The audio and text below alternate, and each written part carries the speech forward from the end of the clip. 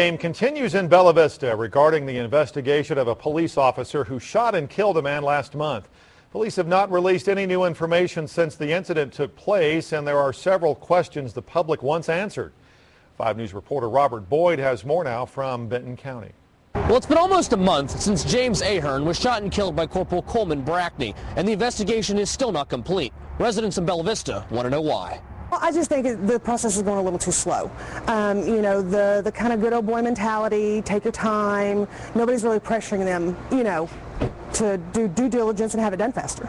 The shooting took place on January 20th on Lancaster Boulevard following a police chase in which James Ahern crashed his car in a ditch. We still don't know what started the pursuit, why Officer Brackney used deadly force, and whether or not Ahern had any kind of weapons.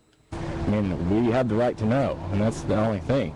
I mean, I don't lose sleep over it at night, but I mean, I live not too far from where that happened.